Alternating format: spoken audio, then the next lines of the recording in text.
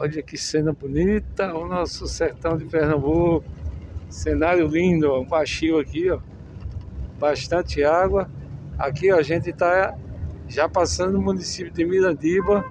Aqui é a Barriguda. E vem mais um rapaz ali, ó. Ó, gente, como é bonito. Povoadozinho chamado Barriguda. A igrejinha fica lá para trás. Ali, ó. A igrejinha fica lá atrás.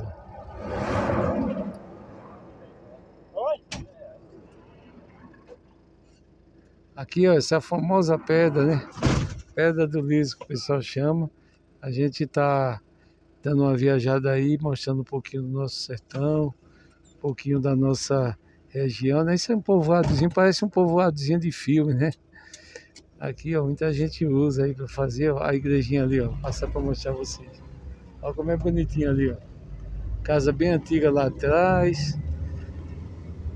A vegetação já tá ficando bonita. Choveu por aqui, ó. Choveu, já tem um pouquinho de água, aumentou. Então é assim, gente. O sertão é bonito. Né?